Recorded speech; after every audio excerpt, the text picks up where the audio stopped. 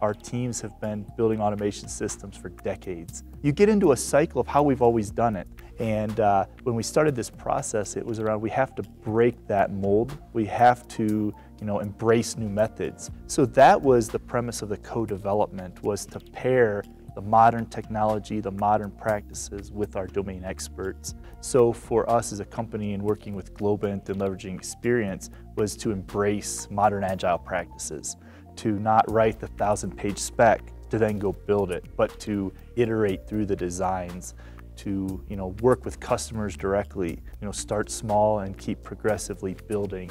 And that was a core part of, of the agile transition for us as a company.